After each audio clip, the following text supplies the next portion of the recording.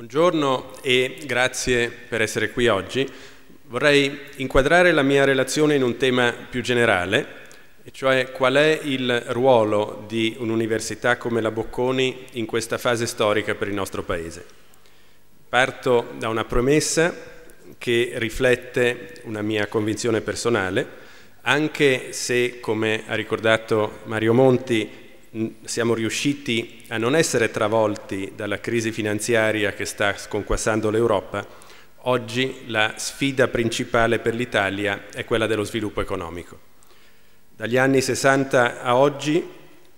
la crescita italiana è diminuita costantemente. In questo grafico vedete la crescita cumulata del reddito pro capite italiano negli ultimi decenni e eh, questa figura non ha bisogno di commenti. Il rallentamento non è stato un rallentamento in assoluto, ma anche nei confronti con altri paesi europei simili al nostro. Negli anni 70 e 80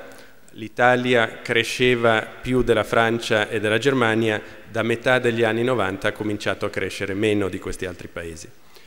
I giovani, come è stato ricordato, sono quelli che pagano le conseguenze di questa situazione più di ogni altro.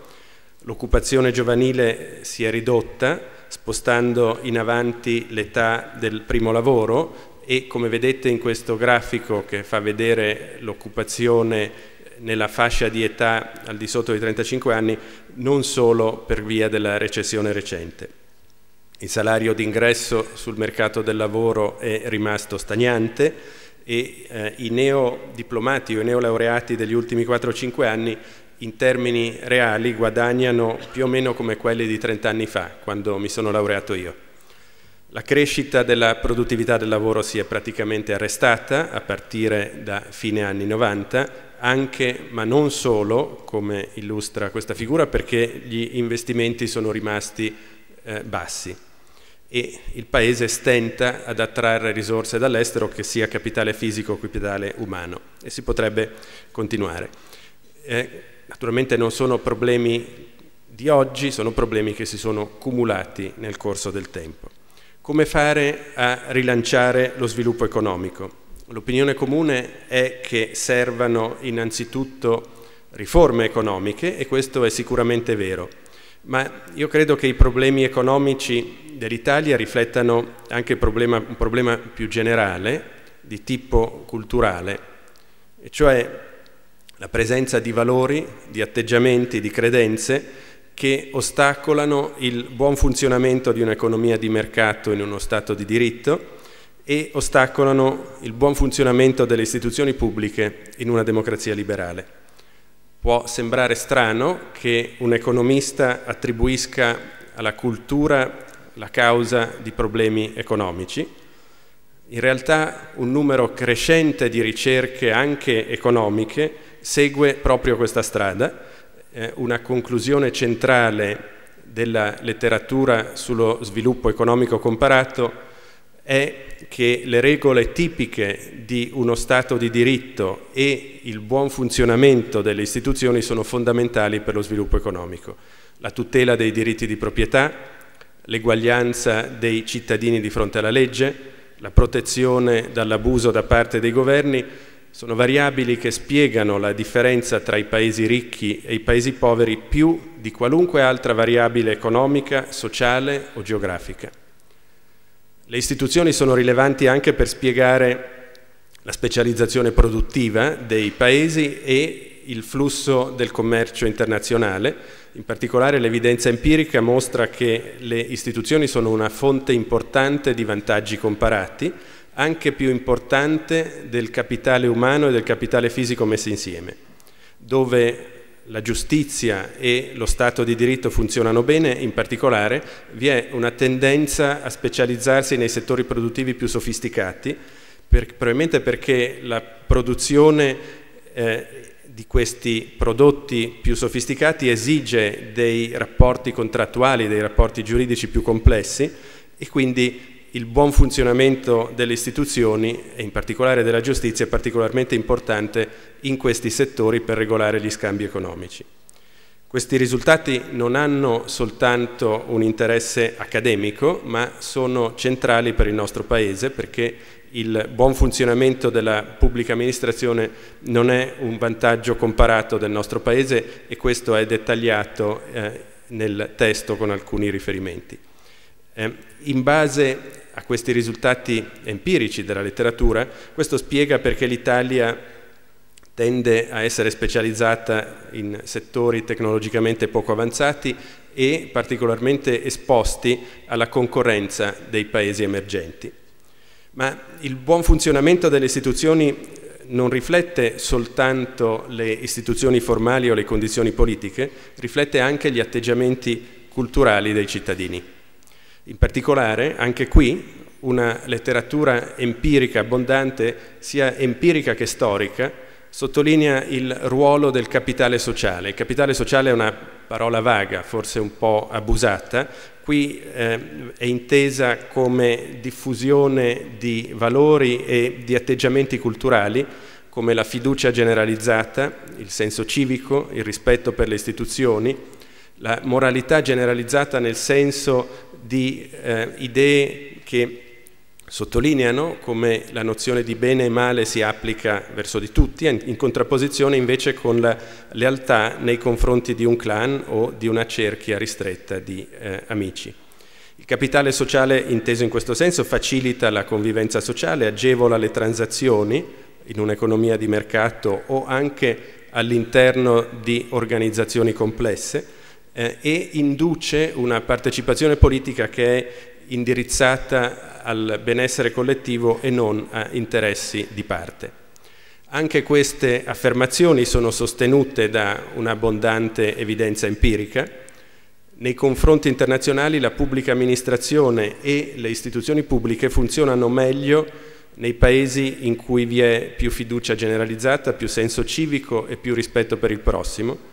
e ciò non sembra essere dovuto a causalità inversa, cioè il buon funzionamento delle istituzioni che induce il capitale sociale perché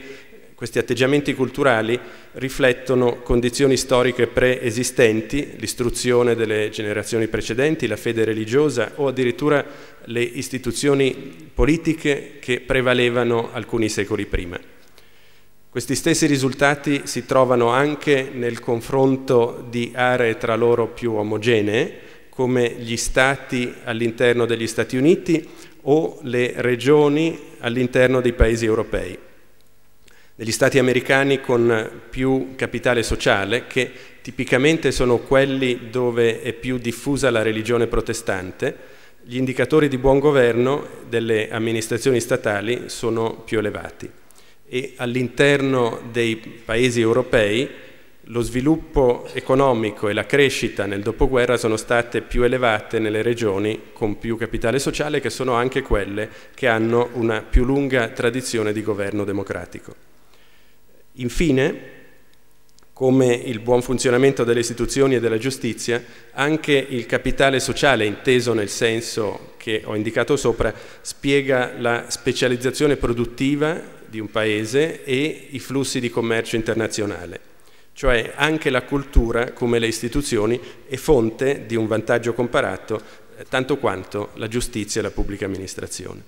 E anche da questo punto di vista eh, non possiamo dire che l'Italia sia messa molto bene perché sebbene alcune regioni italiane siano ricche di capitale sociale, grazie a una tradizione che risale ai tempi dell'Italia dei comuni, tuttavia eh, nel paese nel suo complesso il, la fiducia e il rispetto per le istituzioni che sono tipiche di uno Stato di diritto sono meno presenti che in altri paesi avanzati e questo è illustrato eh, con qualche dettaglio nel testo.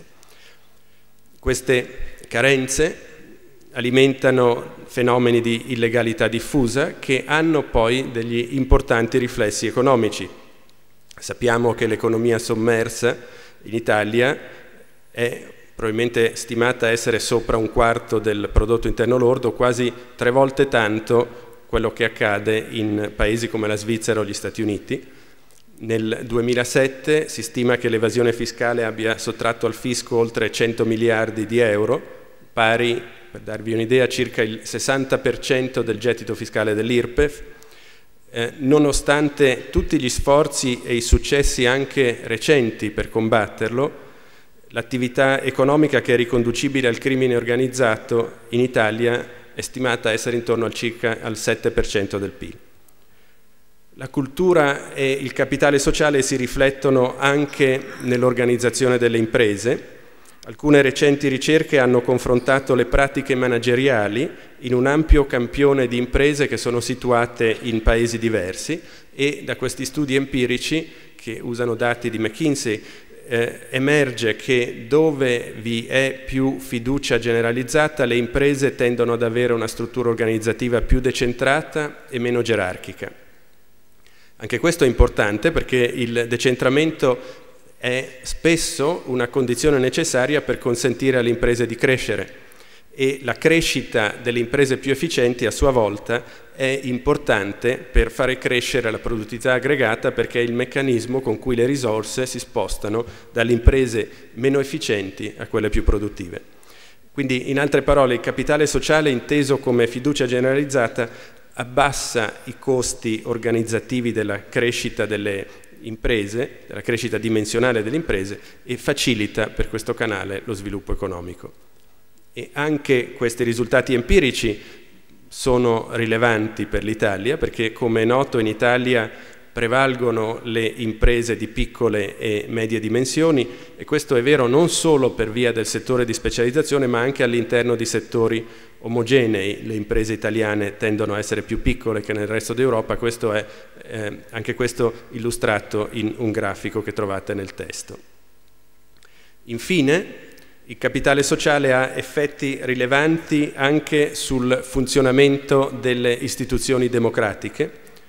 In tutte le democrazie un problema fondamentale è come indurre i rappresentanti politici a perseguire l'interesse generale anziché interessi di parte o personali e eh, là dove vi è più capitale sociale gli elettori tendono a essere più attenti e informati e più disposti a mobilitarsi per punire gli abusi e anche questo è confermato dall'evidenza empirica riferita proprio al nostro Paese. Nei distretti elettorali in cui vi è più solidarietà, gli elettori tendono a essere più propensi a punire gli episodi di corruzione politica o di azzardo morale da parte dei rappresentanti politici. E naturalmente anche questo è importante per lo sviluppo economico dell'Italia perché un atteggiamento elettorale tollerante verso la corruzione insieme all'operare lento della giustizia può spiegare perché la corruzione è ancora così diffusa nel nostro paese e anche questo è illustrato nel grafico che vedete qui, che è riportato nella relazione, che fa vedere l'andamento temporale dei rankings delle percezioni della corruzione in un ampio campione di paesi e eh, un eh, valore più alto qua indica che si è più indietro nei rankings, in particolare l'Italia è arretrata al 67 posto in base a queste classifiche che sono compilate da Transparency International. Tutti questi fenomeni si rinforzano l'uno con l'altro, usando il gergo degli economisti potremmo dire che rischiamo di essere in un equilibrio inefficiente, cioè una situazione in cui gli incentivi individuali, le aspettative circa i comportamenti del prossimo, gli atteggiamenti culturali, sono allineati tra loro e si rinforzano a vicenda e spingono i singoli ad agire in modo controproducente per la collettività. Questa situazione naturalmente non è l'unica possibile, vi è anche una situazione migliore, un equilibrio migliore, in cui al singolo conviene rispettare le regole perché sa che anche tutti gli altri lo fanno. E per passare dall'equilibrio cattivo all'equilibrio buono, tipicamente però non basta l'azione isolata di un singolo, per quanto determinato, occorre un cambiamento collettivo che induca un numero ampio di individui a cambiare i loro comportamenti. E tipicamente quando queste trasformazioni avvengono si accompagnano a mutamenti negli atteggiamenti culturali, nelle norme sociali e a lungo andare anche nei valori. Le università io sono convinto, possono svolgere un ruolo particolarmente importante nel facilitare questa trasformazione e, usando questo gergo, nel favorire il passaggio da un equilibrio ad un altro, perché l'istruzione sappiamo che è forse lo strumento più fondamentale per incidere sugli atteggiamenti culturali e in particolare per diffondere sentimenti come il rispetto per il prossimo, la fiducia generalizzata e la fiducia verso le istituzioni, il senso di appartenenza a una collettività nazionale. E la Bocconi io credo che sia in una situazione privilegiata da questo punto di vista, sia per la quantità dei suoi studenti, abbiamo circa 13.000 studenti provenienti da tutta Italia e sempre di più da tutto il mondo, sia per la loro qualità, perché sappiamo che molti di loro acquisiscono posizioni di leadership in Italia e all'estero e questi giovani talenti portano e diffondono nella società e nell'economia le loro idee e i loro valori. Inoltre mi piace, ci piace pensare che la Bocconi possa essere anche un simbolo dei valori tipici di una società aperta, pluralista e innovativa. E eh, da questo punto di vista io vorrei eh, a questo punto illustrare che cosa stiamo facendo in Bocconi eh, che può facilitare l'accumulazione del capitale sociale così come l'ho inteso e aiutare gradualmente una trasformazione della società italiana, toccando in particolare i tre punti che vedete illustrati in questa slide. Innanzitutto, con riferimento agli aspetti di meritocrazia, la Bocconi è da sempre impegnata nella valorizzazione delle capacità individuali in un contesto di meritocrazia e di mobilità sociale. Cosa c'entra questo con il capitale sociale? c'entra molto perché il riconoscimento del merito e la valorizzazione delle capacità individuali è centrale per identificarci con la società in cui viviamo. Possiamo condividere il senso di appartenere eh, a una società solo se, solo se la riteniamo giusta e pensiamo che offra opportunità a tutti e che sia una società in cui il merito è riconosciuto. Al tempo stesso la Bocconi però è attenta a evitare che la meritocrazia non degeneri in una competizione eccessiva, ma sia invece una spinta a eccellere, a dare il meglio di sé senza prevalere sugli altri. Con riferimento agli studenti, in particolare la valorizzazione del merito e la ricerca del talento per la nostra università inizia ancora prima che gli studenti entrino in aula, perché sia gli sforzi di reclutamento eh, sono verso, che sono indirizzati verso gli studenti più promettenti delle scuole superiori,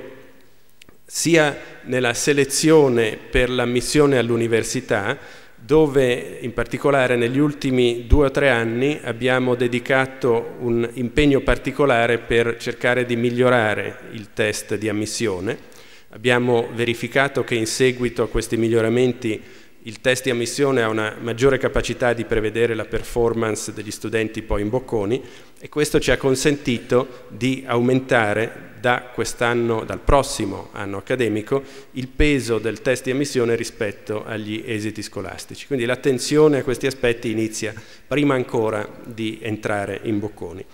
Eh, stiamo anche riflettendo su come arricchire il percorso di studi per gli studenti che sono più motivati, eh, naturalmente la valorizzazione delle capacità e l'attrazione dei talenti per essere davvero tale deve dare a tutti le stesse opportunità, indipendentemente dalle condizioni di partenza e dal reddito familiare. Per questo ogni anno la Bocconi investe una parte importante del suo bilancio a sostegno dei propri studenti con borse di studio, con agevolazioni, con eh, garanzie sui prestiti, con eh, servizi che trovate eh, indicati con maggiore precisione nel testo della relazione. Il riconoscimento del merito è un principio che guida tutta la gestione dell'università, non solo l'attenzione verso gli studenti, ma riguarda anche il corpo docente e proprio in questi mesi stiamo impostando un nuovo modello retributivo per i docenti, la parte, come potete immaginare, più delicata della gestione del corpo docente, che vuole spostare l'attenzione dall'anzianità al merito. Inoltre, lo scorso anno abbiamo introdotto dei premi di eccellenza per la didattica che si aggiungono a quelli che erano già stati introdotti per la ricerca e eh, in queste innovazioni la Bocconi sta anticipando l'attuazione di alcune delle linee guida nella riforma del Ministro Gelmini che sono state eh, ricordate dal eh, Presidente Monti. Nella stessa direzione del riconoscimento del merito, dell'attenzione verso questi aspetti vanno due progetti che ci hanno visti particolarmente impegnati questo anno. Il primo è la valutazione dei dipartimenti anche con riferimento a dei benchmark che sono tratti dalle università europee e americane. Questo esercizio di valutazione di benchmarking poi ha guidato i dipartimenti nella formulazione di un piano triennale di crescita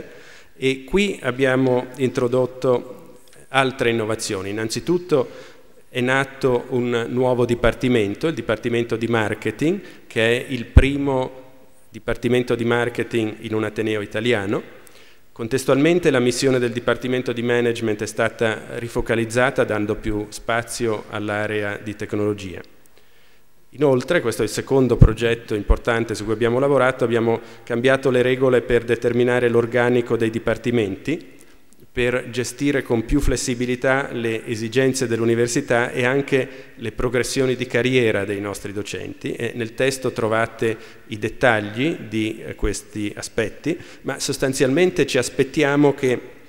le decisioni di promozione e di assunzione dei dipartimenti siano sempre di più guidate dal criterio della qualità, e dell'importanza strategica dell'area disciplinare e non dalla disponibilità di posizioni vacanti nella pianta organica dei dipartimenti. Cioè non deve succedere che un dipartimento si faccia scappare un bravo docente al suo interno o reclutato esternamente perché non ha posti disponibili in pianta organica su cui assumerlo o su cui promuoverlo. E al tempo stesso i criteri di qualità richiesti per le promozioni e per il reclutamento devono essere così alti che ci siano sempre dei posti vacanti in ogni dipartimento perché non riusciamo a riempirli con docenti che siano davvero all'altezza delle nostre ambizioni e degli nostri standards di qualità.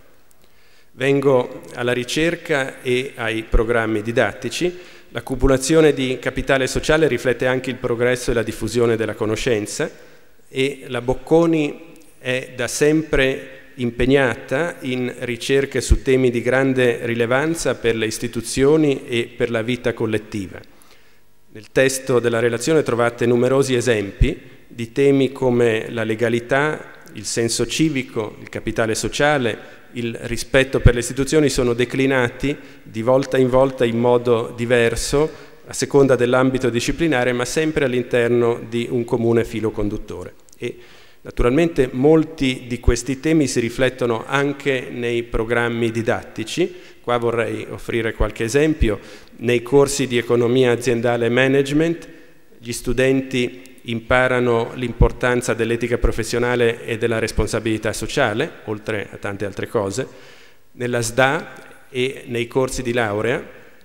Offriamo numerosi programmi per la formazione di una classe dirigente nella pubblica amministrazione e anche nel settore non profit. Questa è un'antica tradizione della Bocconi che è stata la prima università italiana a muoversi in questa direzione.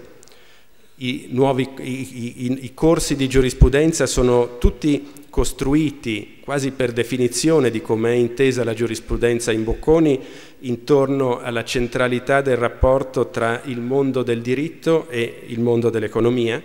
Nel testo trovate altri riferimenti. Questi stessi argomenti sono trattati anche in varie attività extracurriculari che riscuotono molto successo tra i nostri studenti,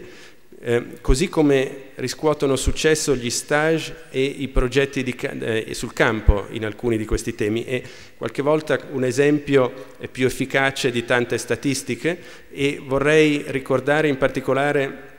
l'esempio di due brillanti studenti di MBA nella SDA che hanno dedicato tre mesi del loro field project non a una grande istituzione finanziaria o a una grande impresa del settore delle consulenze come avrebbero potuto fare, ma invece a un piccolo ospedale e a una scuola di, di ostetricia che è sostenuta dalla Fondazione Ambrosoli in Uganda, aiutando con le competenze manageriali che stanno acquisendo nella business school chi sta cercando di salvare le vite umane. Sebbene questi corsi e queste attività facciano parte da lungo tempo della tradizione della nostra università, vorremmo fare ancora di più e stiamo cercando in particolare proprio in questi mesi di potenziare ulteriormente le iniziative eh, didattiche e culturali in questo campo. Terzo, l'università non deve essere soltanto un luogo dove accumulare conoscenze professionali, accumulare capitale umano e poi trovare un lavoro, vogliamo che gli anni passati in Bocconi siano anche un'esperienza di vita fondamentale che contribuisce alla formazione completa di un individuo anche attraverso la condivisione di valori. E per questo ci stiamo adoperando per fare emergere un senso di appartenenza ed identificazione con l'università in tutta la comunità bocconiana e devo dire che questa esigenza è ancora più forte oggi perché, come sapete, l'università sta cercando di internazionalizzarsi e questo ovviamente aumenta l'eterogeneità all'interno della comunità bocconiana.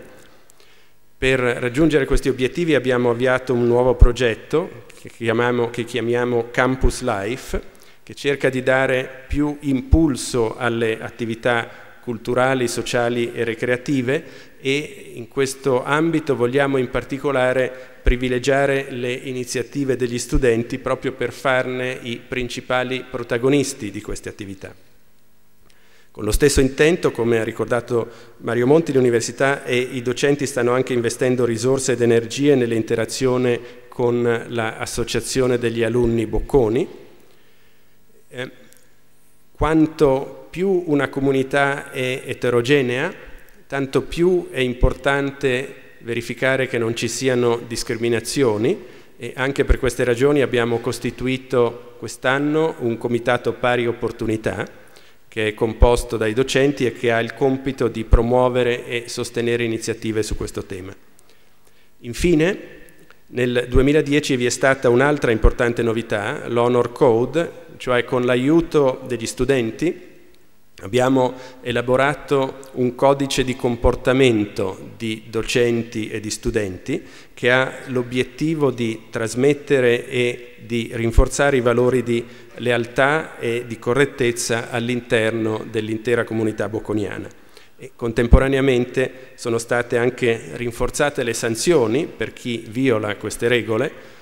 Infine, per segnalare che anche i docenti e non soltanto gli studenti vogliono attenersi al codice di comportamento, è stata istituita una nuova figura super partes, il garante degli studenti, a cui gli studenti possono fare riferimento. E qui desidero ringraziare il professor Marchetti che dopo aver contribuito a realizzare questo progetto ha accettato di essere il primo garante degli studenti a partire da questo anno accademico. E, infine vorrei riassumere brevemente altri aspetti di quello che stiamo facendo in Bocconi o che abbiamo fatto che non sono direttamente collegati con i temi che ho trattato finora e qua procederò sinteticamente, trovate una, una, descrizione più estesa di questi temi nel testo della relazione. Comincio con l'internazionalizzazione. Qui abbiamo continuato a potenziare gli scambi e gli accordi con altre università e imprese nel resto del mondo. Eh, per darvi un'idea, le opportunità di studio e di lavoro all'estero quest'anno hanno superato il numero di 3.000, nel 2005 erano meno della metà. In particolare vorrei sottolineare due aspetti che ritengo importanti a questo proposito. Il primo, negli ultimi due anni abbiamo concluso accordi di scambio di studenti con alcune delle migliori università americane,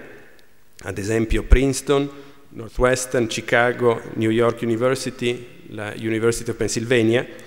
E questi si aggiungono ad accordi simili con altre grandi università americane che già avevamo e grazie a questi impulsi recenti ormai credo che possiamo dire di avere eh, accordi di scambio con quasi tutte le migliori università al mondo.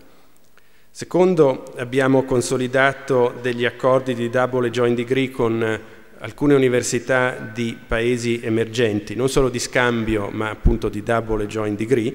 eh, e per l'area graduate siamo tra le poche università europee che ora hanno accordi di double degree con i paesi del BRIC, Brasile, Russia, India e Cina, cioè nei paesi che offrono maggiori opportunità economiche ai giovani. Questo non è tanto merito dell'università, è merito degli studenti, se questo accade, perché eh, vuol dire che i nostri studenti sono accolti nei migliori, migliori, programmi internazionali e se questo avviene è perché nel corso degli anni hanno dimostrato di essere eccezionali e sono diventati leaders nel loro settore e questo non è solo un'impressione, è confermata anche da alcune statistiche recenti, vorrei ricordarne qua alcune. La Bocconi è al ventottesimo posto al mondo tra le istituzioni i cui alunni sono attualmente eh, CEO nelle Fortune 500, cioè nelle più grandi imprese multinazionali del mondo. La Bocconi è addirittura la terza università al mondo i cui, i cui alunni sono eh, tra i 100 economisti più citati al mondo. Eh, è al ventunesimo posto al mondo come università target per il recruitment secondo un campione di 5.000 imprese che è usata nei rankings internazionali di QS la vocazione internazionale dei nostri studenti e laureati è confermata anche dalle esperienze di lavoro all'estero e complessivamente quest'anno i bocconiani hanno avuto accesso a oltre 1600 opportunità di stage di lavoro all'estero, questo è un incremento dell'11% rispetto al 2009. Eh, il 20% dei neolaureati della Bocconi trova lavoro fuori dall'Italia, e per i programmi in lingua inglese, per alcuni programmi in lingua inglese addirittura il 40%. Questi sono numeri che ci rendono fieri come bocconiani, naturalmente ci rendono più preoccupati come italiani. L'internazionalizzazione riguarda anche i docenti, ormai quasi tutti i nostri docenti sono reclutati sul mercato internazionale e anche quest'anno siamo lieti di dare il benvenuto ad alcuni nuovi ingressi, in particolare tra i professori ordinari al professor Massimo Guidolin, che si unisce al Dipartimento di Finanza, venendo dalla University of Manchester, e al professore Nicola Pavoni, che si unisce al Dipartimento di Economia, venendo dalla University College London. Inoltre, come adjunct professors, verranno in bocconi i professori Stan Bayman eh, per diversi mesi ogni anno nei prossimi anni, è un professore di accounting a Wharton, il professor David Mazurski, che eh, insegna marketing anche a Hebrew University. A questi si aggiungono 11 assistant professors che sono stati reclutati quest'anno in varie discipline sul mercato internazionale. Vengo alla ricerca. Della ricerca svolta in Bocconi ho già parlato con riferimento ai suoi contenuti. Qui mi limito ad aggiungere due osservazioni. Prima è che cominciamo a vedere i frutti degli investimenti che sono stati fatti in questi anni. Un indicatore importante della qualità della ricerca sono le citazioni che sono raccolte dall'ISI, l'Institute for Scientific Information, e eh, tra il 2009 e il 2007 le citazioni dei docenti bocconi sono aumentate del 75%. Un secondo indicatore di qualità sono i finanziamenti ottenuti per la ricerca su grants competitivi internazionali. Anche qui abbiamo migliorato, nel 2010 il budget di questi finanziamenti ha superato i 10 milioni di euro, erano 3 milioni nel 2005 e siamo particolarmente fieri di avere tra i progetti finanziati quattro progetti del, finanziati dalla European Research Council che è un organo europeo che finanzia prestigiosi progetti di frontiera, averne quattro in Bocconi ci pone davvero al livello delle migliori università europee. Secondo eh, stiamo facendo, abbiamo fatto uno sforzo importante per diffondere i risultati della ricerca in Bocconi anche al di fuori della comunità scientifica.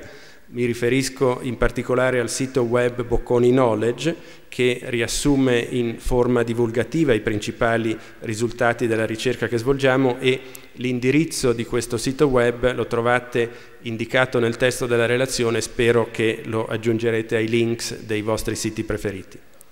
Vengo alla didattica. Sulla didattica già alcuni anni fa avevamo fatto importanti revisioni e quindi qui non sono richieste innovazioni quanto piuttosto una manutenzione attenta. Vorrei menzionare in particolare tra le quattro scuole pre-experience la scuola di PhD che è piccola per dimensioni, per numero di studenti, ma che è molto importante perché è un simbolo della ricerca che viene fatta in Bocconi e qua vorrei segnalare il forte miglioramento che c'è stato nel numero delle domande di ammissione, che sono salite del 42% quest'anno, eh, in particolare sono salite nell'area di Economics and Finance, dove sono raddoppiate. Quest'area ha unificato due PhD che prima erano separati e anche il placement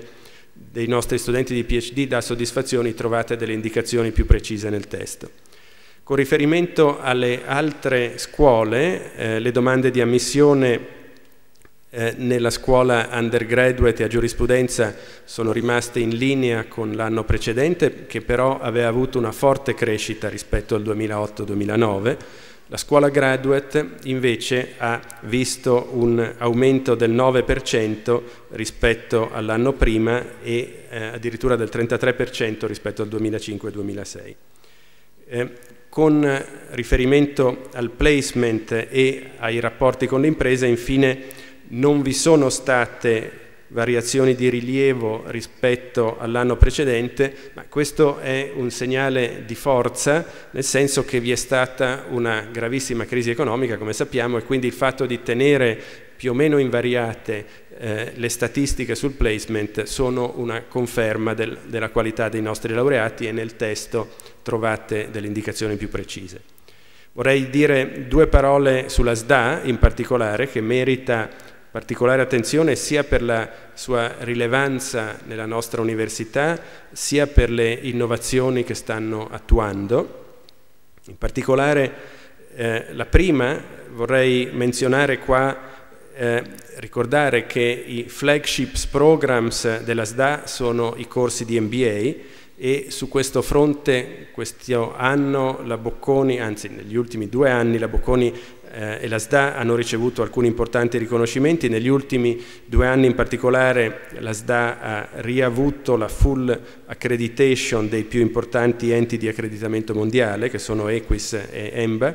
Inoltre, pochi giorni fa abbiamo visto che la SDA è stata inclusa nel ranking di Business Week, che è probabilmente il più prestigioso ranking delle scuole eh, mondiali fatto negli Stati Uniti, la SDA è l'unica tra le scuole italiane a essere inclusa in questo ranking, è al diciottesimo posto al mondo tra le business schools non americane, non degli Stati Uniti. Eh, seconda cosa che brevemente vorrei menzionare riguardante la SDA,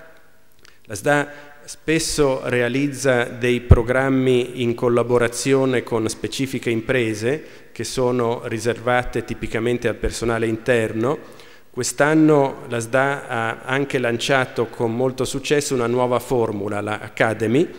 Eh, questi sono programmi specialistici in collaborazione con aziende leader di settore, ma però sono rivolti al mercato esterno, non soltanto all'interno dell'azienda. Eh, esempi di queste Academy sono la Academy of Healthcare Economics nel management con eh, Novartis, eh, la Sport Business Academy con RCS Sport del gruppo Rizzoli, la Channel and Retail Academy che è svolta insieme a IBM. Vengo alle osservazioni conclusive. Nel 1986 la novicella spaziale Challenger esplose per un'avaria in una piccola componente, un giunto di collegamento che si chiama un O-ring. Michael Kramer, un economista di Harvard, prese spunto da questo episodio per formulare quella che ora è nota come la O-ring theory.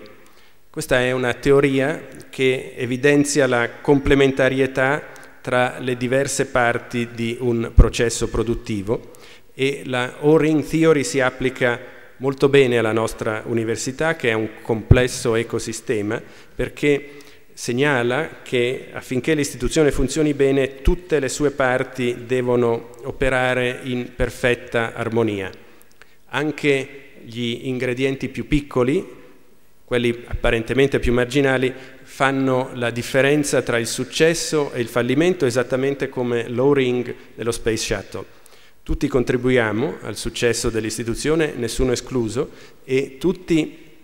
dobbiamo essere ugualmente orgogliosi quando uno studente si laurea con successo e inizia una brillante carriera perché ciascuno di noi ha contribuito a realizzare il sogno di questo studente. Per questo voglio ringraziare l'intera comunità bocconiana per l'impegno, la passione e lo spirito di collaborazione con cui, cui contribuisce al successo dell'università. Vorrei anche cogliere questa occasione per ricordare con affetto e gratitudine tre colleghi che sono prematuramente scomparsi quest'anno, Innocenzo del Grosso, Vittoria Meini e Sandro Roventi. Desidero ringraziare tutto il corpo docente, il personale amministrativo, gli studenti e i loro rappresentanti e un ringraziamento particolarmente sentito anche a nome dell'università va ai membri del comitato rettorale con cui lavoriamo quotidianamente e ai direttori dei dipartimenti e ai dirigenti dell'università. In particolare ringrazio i colleghi che hanno terminato il loro mandato, il professor Piergaetano Marchetti e Guido Corbetta che eh, hanno terminato il loro mandato rispettivamente di prorettore per la governance accademica e i rapporti con le istituzioni e direttore della Graduate School. Vorrei anche ringraziare i direttori dei dipartimenti che hanno terminato il loro mandato, in particolare il professor Federico Ghezzi, Donato Masciandaro, Francesco Saita e Salvio Vicari, che eh, rispettivamente sono stati direttori dei dipartimenti di studi giuridici, di economia, finanza e management. Infine sono personalmente grato ai membri del Consiglio di amministrazione e in particolare ai membri del Comitato esecutivo, al Presidente Mario Monti, al Vicepresidente Luigi Guattri, al consigliere delegato Bruno Pavesi e al Professor Antonio Borges che anche quest'anno mi hanno aiutato con la loro esperienza e con i loro consigli. Con questo dichiaro aperto l'anno accademico e vi ringrazio per la vostra attenzione.